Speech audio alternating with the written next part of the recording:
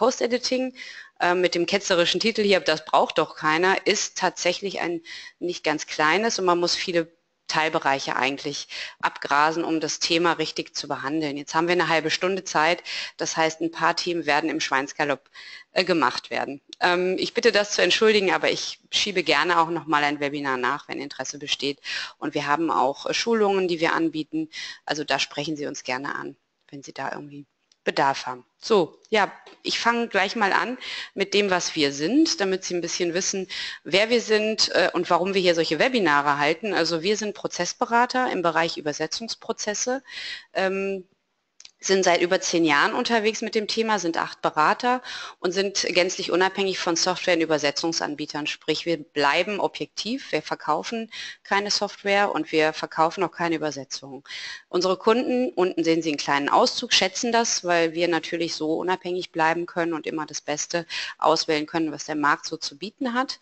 Ähm, wir müssen natürlich den Markt auch immer beobachten, wir müssen wissen, was los ist. Deswegen wissen wir auch um das Thema maschinelle Übersetzung. Das ist ein Riesenthema für unsere Kunden zurzeit und so auch unter Umständen für Übersetzer, für Posteditoren und auch Übersetzungsdienstleister. Das ist ähm, der Hintergrund, warum ich hier heute zu Ihnen spreche. Ich mache das Ganze seit 16 Jahren, habe in der Automobilindustrie begonnen, habe auch schon ein Übersetzungssystem eingeführt äh, für einen großen äh, Automobilhersteller und ähm, ja, es ist ein bisschen mein Steckenpferd.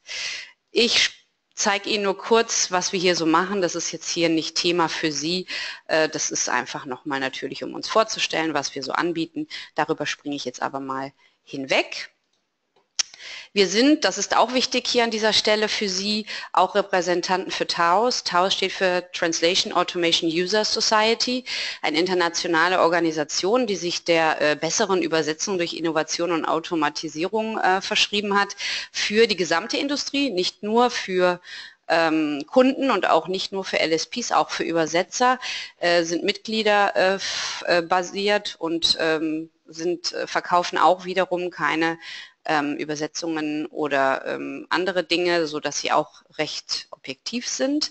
Die haben viele MÜ-Daten, äh, mit denen man auch selber Engines bauen könnte. Zum Beispiel äh, große Kunden wie Microsoft oder Oracle sind Mitglied und äh, bedienen sich hier auch der Daten, die Taos da für MÜ-Engine ähm, ja, Konstruktion gesammelt hat. Nur, dass Sie das schon mal gehört haben, denn äh, Taos bietet über die Academy auch Post-Editing-Kurse an zum Beispiel und hat auch viele Qualitätstools im Portfolio.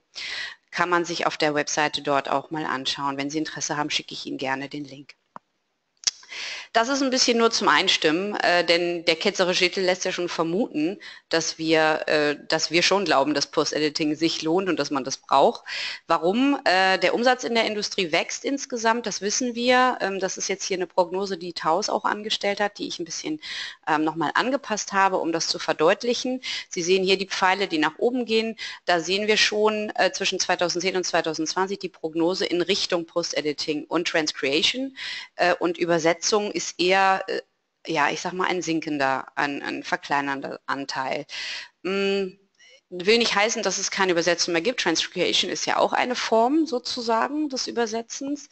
Ähm, aber wir sehen auch den großen Anteil Post-Editing. Deswegen glauben wir, dass Post-Editing durchaus ein Service ist, der äh, Berechtigung hat und der vielleicht auch für ähm, Übersetzer und LSPs interessant ist. Natürlich wird auch noch mehr ähm, Anstieg erfolgen, aber ich denke, wichtig ist hier auch schon mal die Tendenz zu erkennen, wohin die Reise so geht. Was gucke ich mir mit Ihnen heute an in dieser äh, knappen halben Stunde nunmehr? Ähm, was eine kurze Abgrenzung, ähm, so ein bisschen ein Äpfel-Birnen-Vergleich. Was ist denn Post-Editing überhaupt? Dann schauen wir kurz drauf. Wenn ich Post-Editing sage, muss ich auch MÜ-System sagen, weil ohne maschinelles Übersetzungssystem brauche ich ja gar nicht Post-Editieren. Also muss ich ein bisschen was darüber sagen, aber ich versuche das kurz zu halten. Dann haben wir natürlich das, die Einbindung des Ganzen in den Prozess äh, zum Thema. Wir gucken uns äh, einige wichtige Themen an, die man als Posteditor, wenn man das als Service ähm, anbieten möchte, so ja, beachten kann, sollte und dann natürlich beantworten, ja, beantworten wir, Entschuldigung, am Ende auch nochmal die Frage, braucht man es denn nun oder nicht? Springen wir in das Thema Abgrenzung. Was ist denn Post-Editing? Ich bitte zu entschuldigen, dass ich hier englische Beispiele gewählt habe, aber es gibt einfach im Internet so zum Großteil und auch in der Literatur immer noch hauptsächlich englische ähm, Literatur zum Thema Post-Editing. Ähm, also der Äpfelvergleich hier, ähm, es ist in den meisten Fällen, ich lese das jetzt hier nicht alles vor äh, und gehe auch davon aus, dass Sie äh, alle des Englischen mächtig sind. Ich hoffe, das ist so, ansonsten bitte ich das zu entschuldigen. Ähm, ich fasse zusammen, es ist ein Prozess, wo immer Menschen etwas tun, und zwar verändern Menschen einen maschinell generierten Übersetzungsoutput und ähm, bemühen sich äh, nach Kräften hier einen akzeptablen Output zu generieren, ja, also ein akzeptables Übersetzungsprodukt aus diesem maschinell generierten Übersetzungs äh, aus dieser maschinell generierten Übersetzung zu machen. Das haben die alle gemein. Ähm, in einigen Fällen wird hier auch schon gewertet, also es wird manchmal wird einfach nur angepasst oder verändert, aber es wird auch korrigiert und verbessert. Ne, es sind unterschiedliche Ansätze, die hier zum Tragen kommen. Der Birnenvergleich, was ist es denn nicht? Äh, man soll ja nie etwas mit dem ähm, erklären, was es nicht ist, aber in diesem Fall ist es hilfreich abzugrenzen. Revision ist es nicht, weil für eine Revision brauche ich erheblich mehr Zeit und die Zielqualität, die, die ich haben möchte, ist natürlich viel höher.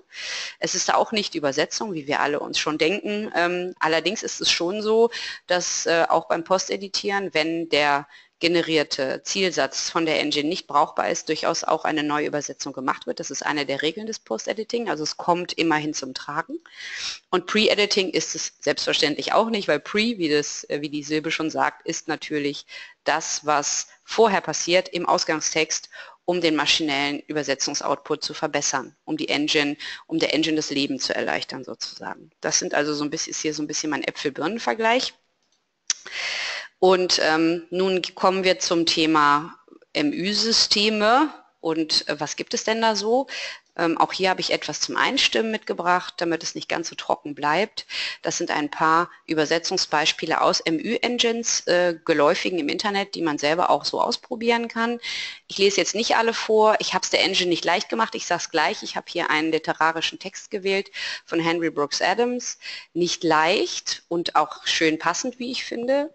Ähm, und ja, die Engines haben ganz unterschiedliche Sachen draus gemacht, aber das letzte hier, das ist also das neueste vom neuen Neural MT, neuronale MÜ von Google Translate, muss ich sagen, das ist schon echt nicht schlecht. Also wenn man das liest, könnte man sich schon vorstellen, dass das vielleicht ein Mensch generiert hat.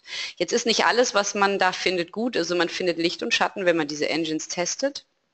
Aber trotzdem wollte ich mal zeigen, was so im Moment die Möglichkeiten sind zum Teil.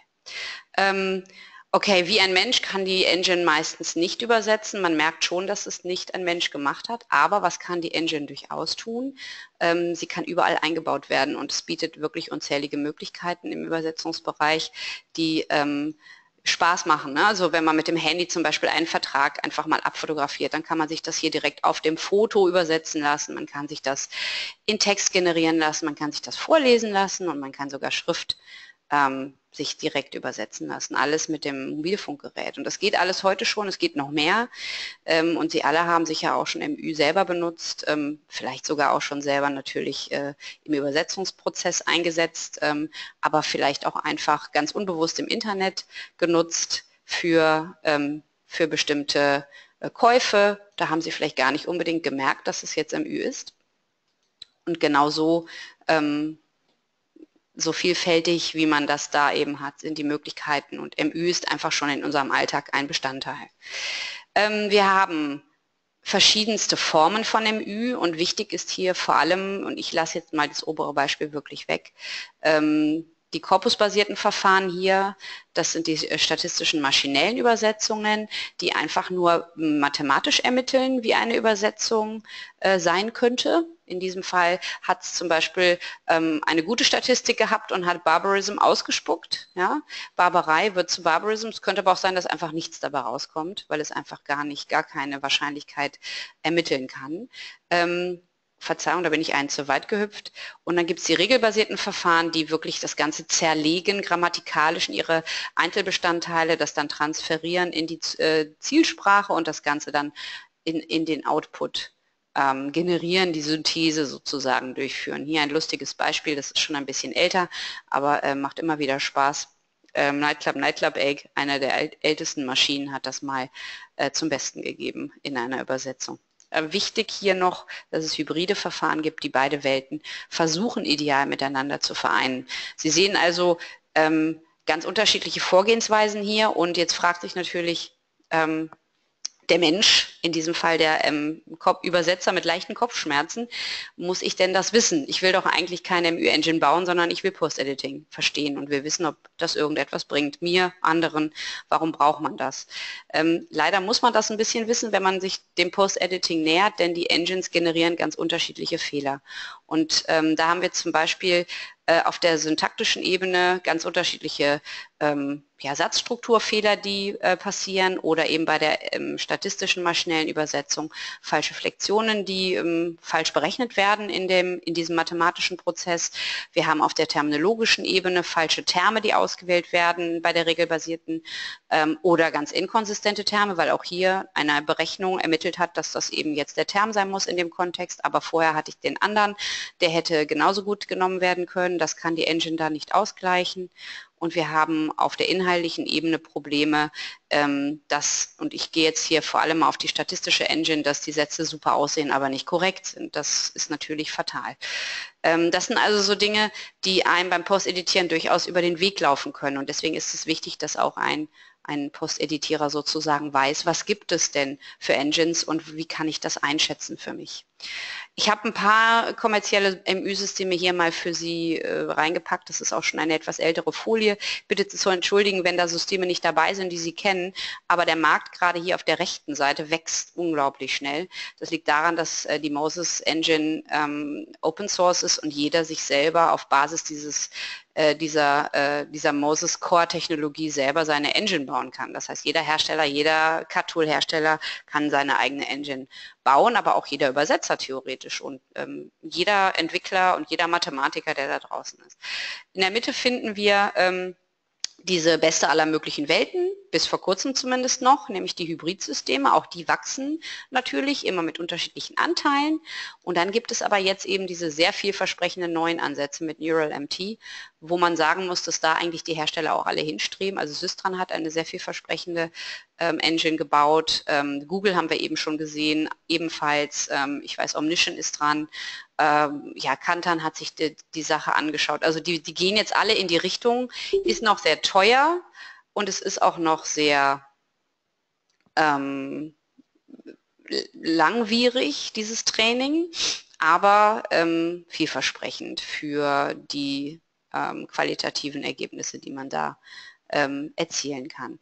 Jetzt ähm, denk, denken wir uns, ja, jetzt habe ich gesehen, was es so für Engines gibt, aber wie kann man sich das denn nun in der Praxis überhaupt vorstellen? Wir schauen uns an, wie ähm, MÜ und Post-Editing im Übersetzungsprozess eingebettet ist um zu sehen, wo das denn überhaupt zum Tragen kommt. Das ist hier so ein klassischer Übersetzungsprozess, den wir ähm, ja, für uns gerne verwenden, einfach um, um, um prozesshaft darzustellen, was abläuft. Wir haben hier eine kontrollierte Ausgangssprache im Idealfall im MÜ-Prozess. Dann findet Pre-Editing der Ausgangssprache statt. Wie gesagt, das ist eher so die Idealwelt. Dann passiert hier äh, Vorübersetzung und MÜ-Abgleich, wenn man MÜ, also maschinelle Übersetzung, einsetzt. Und dann kommt nachher der Post-Editor und gegebenenfalls ein Feedback zum Tragen. Hierbei ist wichtig, dass bei großen Unternehmen und so Workflow-Management-Systeme das Ganze wirklich steuern steuern und sie dann auch eingebunden werden als Posteditoren und dann auch ein Tool vorgeschrieben bekommen sozusagen. Kleinere Unternehmen schaffen das natürlich so nicht. Die haben meistens nicht so eine riesige Umgebung oder wissen auch noch gar nicht so genau, wie sie es machen wollen und überlassen dann die, Umge die Auswahl eher dem Posteditor selbst, der dann auch so ein bisschen zum Berater wird. Also da wird auch die Kommunikation mit dem Kunden immer wichtiger. Wir haben ein wichtiges Thema hier, nämlich das Thema der Austauschformate und Kennzeichnung von den Mühsegmenten, die nicht ideal gelöst sind. Also die meisten Hersteller haben hier noch große Schwächen. Ähm, das ist dann wichtig, wenn Sie Post-Editing anbieten wollen und natürlich irgendetwas vom Kunden bekommen, was eine Mischversion ist. Dann haben Sie dort unter Umständen ähm, Matches aus der maschinellen Übersetzung, aber Sie haben vielleicht auch Fuzzy-Matches und nicht übersetzte Segmente und die muss man natürlich voneinander trennen können, damit man sauber abrechnen kann. Wir sehen hier zum Beispiel ein Beispiel aus, äh, wir sehen hier ein Beispiel aus STL Studio, Automatic Translation, das ist hier der Kenner für die maschinelle Übersetzung. Sie kennen es vielleicht auch und Sie, Sie, wissen dann sicherlich auch, dass man hier in der Statistik das nicht ausgewiesen bekommt als MÜ, ähm, was sehr unglücklich ist, weil man eben, wie gesagt, hier an der Stelle das dann gar nicht unterscheiden kann. Hier wäre das jetzt deshalb nicht dramatisch, weil einfach alles schon äh, maschinell übersetzt ist, aber wenn es gemischt wäre, könnte man das nicht voneinander unterscheiden. Ähm, es gibt Anbieter, die das tun. Across zum Beispiel weist es in den Statistiken aus, das sei schon mal gesagt. Aber ähm, bei Transit Next zum Beispiel ist es auch nicht ausgewiesen und bei MemoQ meines Wissens bis dato auch noch nicht. Das heißt, da muss man schon gucken, dass man irgendwie sich da mit dem Kunden auch vereinbart, wie man da die Daten denn nun bekommt und in welchem Tool man arbeiten soll. Ähm, es gibt zwei Formen, Import-MÜ und MÜ im Editor. Import-MÜ ist eben, wenn das Ganze schon bei der Vorübersetzung ähm, erzeugt wird und dann dem Übersetzer direkt mitgeliefert wird. Und im Editor wäre dann, wenn Sie selber die MÜ anfordern. Und dann sieht man hier in, dem, in der Editor-MÜ-Beispiel aus Transit Next hier, wie die Daten dann an das MÜ-System gesendet werden und dann bekommen Sie in Ihrem Editor hier Ihr Übersetzungsbeispiel. Das ist natürlich schön hier gelöst, weil man jedes Mal so einen riesigen Disclaimer bekommt. Achtung, jetzt schickst du hier Daten ins Internet. Kann ein bisschen nerven, ist aber natürlich richtig, weil die Daten sind in der Cloud sichtbar und für den Kunden ist das vielleicht so nicht in Ordnung. Insofern ist der Hinweis hier eigentlich sehr, sehr löblich. Ähm, nur ein kurzer Überblick, was es so für eine Vielfalt gibt in den verschiedensten Cut-Tools, ist sicherlich an der Stelle Wahrscheinlich haben Sie in Ihrem eigenen Tool, wenn Sie eins verwenden, schon mal geschaut, welche kann man denn einbinden. Meistens geht das über API-Schlüssel. bei äh, STL Trado Studio geht es mit App ähm, in den meisten Fällen, aber äh, ja, das kann man sich relativ leicht im Tool einbinden und dann verwenden, wenn man das möchte können wir jetzt nicht weiter drauf schauen, ist bei uns nochmal ein ganz eigenes Thema, wie der Übersetzer das im, im Prozess selber verwenden kann. Jetzt kommen wir zum Kern des Pudels. Was ist denn eigentlich beim Post-Editieren ähm, Sache? Kann man damit auch Geld verdienen? Das kann man natürlich. Deswegen schauen wir uns mal an, äh, wie Post-Editing als Service zu verstehen ist. Wo werden denn Post-Editoren in diesem MÜ-Prozess eingesetzt? Einmal in der Entwicklung und einmal in der Produktion. Ähm, ich habe das jetzt hier mal schematisch so ein bisschen äh, dargestellt. Das ist äh, ähm, es ist halt alles leider relativ abstrakt, weil es ja in der Engine passiert, aber der Post-Editor wird zum Beispiel beim Pre-Editing benötigt, so die Quelltexte anzupassen in der Trainingsphase, damit die MÜ ähm, im Output besser wird. Ähm, außerdem wird der Post-Editor in der eigentlichen Trainingsphase dann natürlich zum ähm, ja, zur Feedback-Erstellung benötigt. Er guckt sich also den Output an, die Übersetzung und sagt, was falsch ist, findet nicht übersetzte Quellsegmente und so weiter, damit der Entwickler das wiederum der Engine zuführen kann und sein Übersetzungs- oder Sprachmodell anpassen kann. Das ist jetzt bei der statistischen maschinellen Übersetzung so. Ähm, und natürlich in der Produktivphase, ne, wenn die äh, übersetzten Segmente dem Posteditor einfach zur Korrektur, sage ich jetzt mal, zum Posteditieren zur Verfügung gestellt werden. Da gibt es unterschiedliche Varianten. Es gibt vollständiges oder leichtes Post-Editing und dann natürlich auch mit oder ohne Feedback. Und hier gibt es dann nochmal in unregelmäßigen Abständen häufig äh, auch im äh, Produkt Produktivprozess äh, immer wieder Feedback zur Engine-Optimierung, das dann sehr viel detaillierter stattfinden muss. Kann ich jetzt nicht alles vorlesen, aber Sie kriegen schon eine Idee. So ähnlich wie in der Trainingsphase quasi wird dann hier nochmal ganz, ganz detailliert ein Feedback erstellt. Was muss ein Posteditor denn so können? Ähm, wir haben allgemeine Kenntnisse für Posteditoren, ganz klassisch, ich meine sehr, sehr übersetzerähnlich auch. Wir müssen natürlich ausgezeichnete Quell- und Zielsprachenkenntnisse vorweisen, äh, Textarten und Linguistikkenntnisse haben, sollten sich sehr gut in Terminologiemanagement auskennen und auch Term Terminologiemanagement-Datenbanken einsetzen, denn Terminologie ist ein Riesenthema ähm, und gut ist auch wie beim Übersetzen eine Fachgebietsexpertise zu haben und sich in bestimmten Spezialgebieten besonders gut auszukennen. Also das ist relativ ähnlich. Was wichtig ist hier und was sicherlich auch anders ist als beim Übersetzen, ist, dass man eine unheimliche Geduld braucht, weil äh, man darf nicht vergessen, dass die Fehler, die man da äh, ich sag mal täglich, Tag ein, Tag aus bekommt, äh, manchmal wirklich schwer zu tolerieren sind. Also man muss sich daran gewöhnen und sich an guten Ergebnissen sehr stark erfreuen können ähm, und ein großes Durchhaltevermögen haben, weil ähm, viele Menschen das als eine sehr herausfordernde Tätigkeit betrachten. Ich habe allerdings auch schon auf einer Tagung mit einem Posteditor gesprochen, der das einfach super fand, der das, äh, den das überhaupt nicht angestrengt hat und der das sehr gerne gemacht hat. Ich glaube, auch da sind wir ja alle unterschiedlich gelagert. Ich denke, das muss jeder für sich selber entscheiden und ausprobieren. Was braucht man denn äh, für technische Voraussetzungen und so? Was gibt es noch für Spezialwissen? Man sollte Spaß dran haben, ständig mit neuen Technologien zu arbeiten. Das ist wirklich ein sehr technischer Job, muss man einfach sagen. Äh, man muss sich sehr in MÜ-Systeme einarbeiten. Wir haben das eingangs schon gesehen. Man muss wissen, was sind das für unterschiedliche Systeme, die es so gibt. Was kann man da so einstellen? Was kommt da, was kommen da für Fehler? Ähm, dann muss man Spaß dran haben, ja auch schon Feedback so zu geben, dass der Entwickler damit was anfangen kann. Und hier haben wir wieder das Terminologiemanagement. Also das ist ein, ein ganz, ganz wichtiges Thema. Es gibt so eine Faustregel, wie lange eine Einarbeitungszeit sein kann. Die kommt jetzt von Taos hier. Die sagen, mindestens einen Monat lang soll man mindestens 100.000 Wörter rohe MÜ editieren, also wirklich rohen MÜ-Output, so wie er ist. Auch hier kann ich nur sagen, Erfahrungswerte. Ähm, sicherlich gibt es Menschen, die das sehr viel schneller schaffen. Dann gibt es vielleicht Menschen, die viel länger brauchen. Aber das ist mal ein Richtwert, an dem man sich vielleicht mal so ein bisschen festhalten kann. Ja, was ist noch wichtig ähm, zu wissen ähm, in der Zusammenarbeit mit dem Kunden? Wir hatten das eben schon, hatte ich das schon erwähnt. Man sollte wirklich so viel wie möglich mit dem Kunden klären, wenn man Post-Editing anbieten möchte. Man muss wirklich wissen, was er da verwendet für Systeme.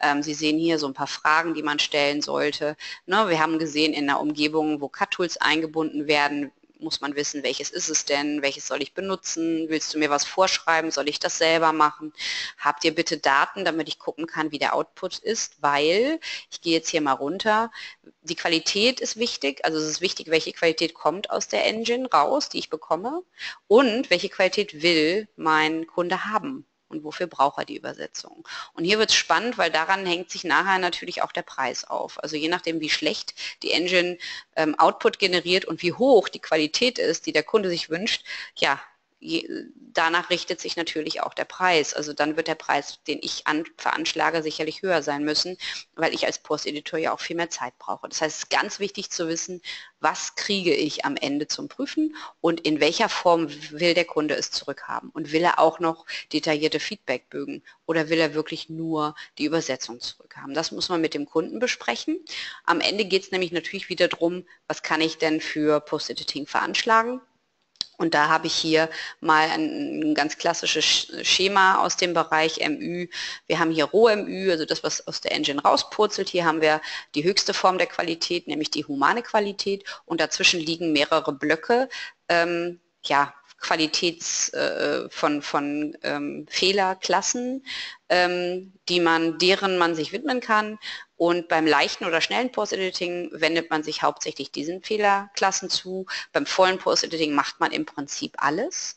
Aber ähm, volles Post-Editing wird trotzdem niemals die humane Qualität erreichen. Das sollte man vielleicht hier schon mal erwähnen.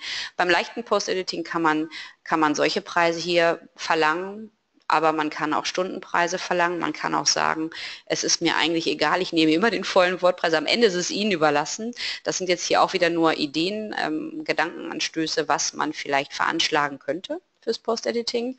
Und beim vollen Post-Editing ist es so, dass auch hier es natürlich schwankt, ähm, dass auch hier sind Vorschläge, was man machen kann, hängt sehr stark von der Qualität der Engine ab. Ist einfach so.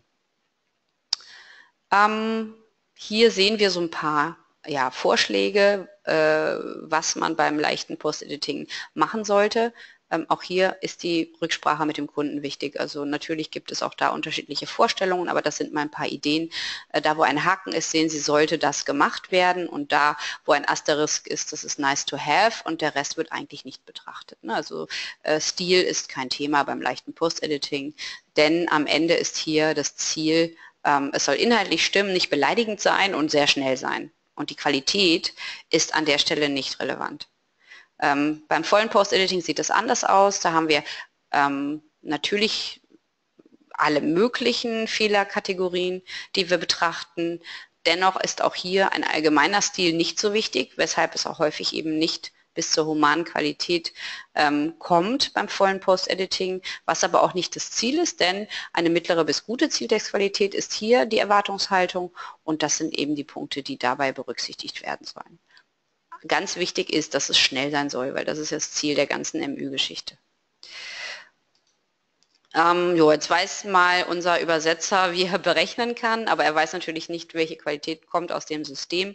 Da habe ich jetzt nicht mehr so viel Zeit, aber ähm, es gibt automatische Evaluierungsverfahren, um die Qualität einer Engine zu ermitteln. Das äh, ähm, wird dann in einem sogenannten BLÖ-Verfahren durchgeführt. Vielleicht haben Sie das auch schon mal gehört. Das kann man übrigens auch selber mal testen hier.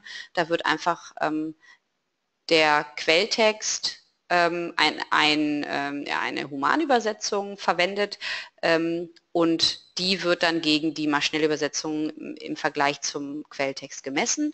Da werden wirklich ganz einfache Verfahren angewendet.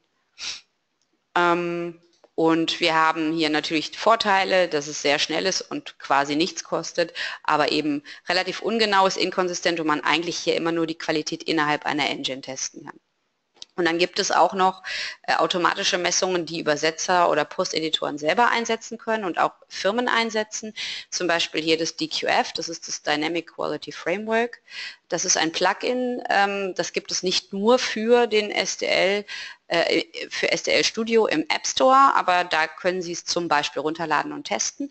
Es gibt es auch für andere Tools und es misst im Prinzip die Zeit, die ein Post-Editor braucht, um eine, ähm, eine maschinelle Übersetzung zu korrigieren und ähm, ja, misst es einfach und äh, trägt, gibt nachher hier eine Statistik aus und so kann sowohl der Auftraggeber als auch Sie selber messen, wie lange habe ich denn gebraucht, um diese, diesen Text zu post-editieren und dann kann man auch auf einen sinnhaften Preis irgendwann kommen, dass man sagt, okay, ähm, wenn ich hier eine durchschnittliche Zeit brauche für diesen Text von, keine Ahnung, so und so viel Minuten pro Seite oder Segment, Sekunden pro Segment, dann nehme ich immer diesen und jenen Preis. Das heißt, das ist auch eine Möglichkeit, zu wissen, wie gut ist die Engine und wie viel Geld kann ich fürs Post-Editing hier veranschlagen, um eine bestimmte Qualität zu erreichen. Ähm, ja, jetzt will der Post-Editierer natürlich auch mal loslegen und ich habe jetzt hier nochmal die wichtigsten Faustregeln, bitte nicht erschrecken, die purzeln jetzt hier alle so runter. Das ist natürlich relativ viel, ähm, können Sie jetzt auch nicht alles auswendig lernen, aber ähm, das sind auch nur so die, die allerwichtigsten Faustregeln wirklich, die man so hat. Es gibt hier zum Beispiel die eine schnelle Entscheidung, möglichst unter zwei Sekunden, die ist sehr umstritten, sage ich gleich, aber es macht ja Sinn, wenn ich schnell sein will, dann möchte ich natürlich auch, muss ich natürlich sofort wissen, was kann ich jetzt hier machen, was muss ich korrigieren, ähm, kann ich das korrigieren, muss ich neu übersetzen, das muss natürlich schnell gehen. Wenn ich da jedes Mal drei Minuten überlege, dann lohnt sich das Post-Editieren für mich irgendwann nicht mehr. Und so sehen Sie hier so die allerwichtigsten ähm, relevanten Faustregeln, die man so hat. Ich habe hier noch ein Beispiel mitgebracht. Ich hoffe, Sie haben noch die Zeit, weil ich weiß, wir haben jetzt schon halb. Aber vielleicht ist es ganz interessant, einfach nur mal so ein bisschen zu sehen, was bedeutet denn das hier, leichtes Post-Editing und so. Äh, ja, wo sind denn da die Unterschiede? Also ich habe hier einen Quelltext, dann habe ich meine, meine rohe, meinen rohen MÜ-Output hier und das soll vom Post-Editierer im Rahmen eines leichten Post-Editing, also die Qualität ist nicht so wichtig, es muss verstanden werden, ähm, gemacht werden, also editiert werden. Und dann gibt es diese klassischen Begriffe, dann gibt es das Under-Editing. Ähm, hier ein Beispiel, diesen Satz, but not only outside the smartphone has something to offer, ist für mich eher nicht verständlich. Deswegen würde ich das durchfallen lassen. Da hat er zu wenig editiert. Ähm, dann haben wir hier ein Over-Editing denn da hat er mal den Text komplett umgeschrieben und nach subjektivem Empfinden verändert. Das darf natürlich auch nicht sein, wird aber verstanden. Also es hat den Vorteil, aber es ist eindeutig hier over the edge. Also so viel hätte für ein leichtes Post-Editing nicht gemacht werden müssen. Und das ist jetzt mal mein Beispiel für in diesem Fall ein angemessenes Post-Editing. But it's not only on the outside where the smartphone has something to offer. Ähm, wie gesagt, in meinem Beispiel hier, für mich ist das in diesem Fall ein angemessenes Post-Editing. Nur, dass Sie mal eine Idee bekommen, was das denn eigentlich heißt. So, jetzt kommen wir auch zum Fazit, denn ich habe ja versprochen, dass ich versuche, mich an die Zeit zu halten. Ähm, das scheint ja Sinn zu machen. Denkt sich unser Übersetzer, aber das war jetzt natürlich ein Schweinsgalopp und ich möchte eigentlich gerne mehr wissen, was kann ich da tun? Gibt es da irgendwelche Angebote? Es gibt schon was, aber es gibt auch echt noch Potenzial, muss ich sagen. Also mehr und mehr Hochschulen und Universitäten nehmen MÜ und auch Post-Editing jetzt ins Portfolio auf. Häufig wird das Post-Editing, sage ich mal, ein bisschen stiefmütterlich im Rahmen des MÜ-Fachs behandelt. Aus meiner Sicht für Übersetzungs äh, ähm, äh, Lehrgänge sollte das eigentlich im Fokus stehen. Ähm, dann gibt es so ein paar Seminar- und Weiterbildungsstätten und es gibt aber natürlich auch äh, ja, Übersetzungs, äh, Anbieter und Systemanbieter, Organisationen, Taus, ich erwähnte es schon, wir machen das auch. Ähm, wir bieten auch Präsenzkurse an, denn ähm, das Thema kann man wirklich sehr detailliert behandeln. Also wenn da Interesse besteht, bei Taus auf der Seite gucken, SDL hat so ein kleines äh, ähm, Ding, das ähm, ja, hilft jetzt nicht so viel weiter, ehrlich gesagt, aber es ist vielleicht mal ein Einstieg. Das ist auch, glaube ich, kostenfrei, das kann man einfach machen. Und ähm, bei Taos ähm, kostenpflichtig, aber sehr gut und detaillierter Post-Editing-Kurs und wir machen, wie gesagt, ähm, wir machen es als Präsenzseminar. Ähm, hier meine Zusammenfassung und danach schaue ich mir auch gleich nochmal Ihre Fragen an, wenn welche da sind. Ähm, zusammenfassend für unseren Übersetzer, sage ich jetzt mal stellvertretend, aber auch für mich natürlich ist das auch meine Meinung. Ähm, Post-Editing braucht jeder, der MÜ-Ergebnisse mit gewisser Güte produktiv einsetzen will. Der Einsatz von MÜ steigt tendenziell wirklich stark an. Es macht Sinn, sich mit Post-Editing äh, näher auseinanderzusetzen, wenn man die Technik nicht scheut. Das finde ich ist ein wichtiger Punkt. Transparenz und klare Vereinbarungen mit Auftraggebern in Bezug auf erwartete Qualität, Aufwand und Preis sind aber absolut entscheidend. Also das ist tatsächlich ein dynamischer, ein, ein kommunikativer Prozess. Da kann man nicht mit einfachen Preispaketen arbeiten. So, ich habe es geschafft, fast pünktlich zu schließen. Ich hoffe wirklich, dass ich Sie jetzt hier nicht äh, total überfahren habe verbal. Ich bedanke mich sehr. Hier sehen Sie noch einen Auszug aus unserem Team ähm, und ähm, ein paar äh, nächsten Termine, wo man uns zum Beispiel treffen kann oder ähm, wo vielleicht Interesse besteht, selber sich ähm, da mal hinzubegeben. Wir haben auch einen Vortrag auf der Frühjahrstagung, wenn Sie da sein sollten. Da geht es um die Rolle der Terminologie in der maschinellen Übersetzung. Das macht ein Mitarbeiter von mir, der Christian Eisold. Ähm, jetzt gucke ich mal eben in die Fragen. Es gibt, glaube ich, eine Frage hier. Ähm, ja, hier gibt es eine Frage, wenn ich als Firma das Post-Editing in Auftrag gebe, kann ich davon ausgehen, dass sich der Post-Editor vollständig in die nötige Fachterminologie einarbeitet? Ja, das sollte man natürlich vorher klären. Ne? Also deswegen habe ich ja gesagt, es ist sinnvoll, als Post-Editor sich auch in ein Fachgebiet ähm, einzuarbeiten und das dann auch anzubieten. Also zu sagen, ich bin Post-Editor vorrangig in diesen Bereichen. Deswegen ja, das kann man natürlich ähm, erwarten, denn das sollte im Service eigentlich inbegriffen sein. Oder wenn der Post-Editor erst beginnt, dann musste er das ähm, sozusagen ähm, einpreisen. Ja, wenn natürlich ständig von der Firma unterschiedliche äh, Textsorten kommen und ganz viele verschiedene ähm, Terminologiearten immer wieder abverlangt werden, dann sollte man mit der Firma mal sprechen oder eben sagen, ich mache das gerne, aber nur für diesen Bereich, denn das ist natürlich auch sehr aufwendig. Also Sie sollten sich als Übersetzer überlegen, was möchte ich da, wo möchte ich mich da einarbeiten, was, was liegt mir auch und wo sehe ich auch Potenzial. Ne, Pharma zum Beispiel könnte ich mir vorstellen oder so oder im, im technischeren Bereich. Ähm, und als Firma kann man sowas auch vorher abfragen. Ne? Bist du bereit, das zu tun? Weil das ist uns sehr wichtig. Also das würde ich an der Stelle vielleicht dazu sagen. Ich hoffe, dass das die Frage beantwortet. Ist natürlich auch nur eine Meinung, die ich habe. Am Ende ist auch das ähm, Vereinbarungssache. Ja. Ähm, ich darf noch ähm, auf unser nächstes Webinar hinweisen. Das wäre auch meine allerletzte Folie. Falls Sie Interesse haben und wenn Sie mögen, kommen Sie doch gerne am 12.04. wieder ins Netz sozusagen. Da äh, wird die Jenny Seidel was zum Thema Terminologie zielführend abstimmen sagen. Würde mich sehr freuen, wenn Sie äh, da wieder reinschauen. Und ähm, wenn jetzt sonst keine Fragen mehr von Ihnen da sind, warten Sie mal, ich schaue mal eben. Da wurde gedankt. Ich danke auch sehr. ähm, ich habe das gerne gemacht, freut mich, wenn es Ihnen gefallen hat. Und ja, wenn jetzt nichts kommt, dann ähm, würde ich sagen, vielen, vielen Dank. Ich wünsche Ihnen einen sehr schönen Tag, eine gute Restwoche. Falls Sie Karneval feiern, viel Spaß dabei und äh, vielleicht hören wir uns bald mal wieder. Bis dann. Tschüss.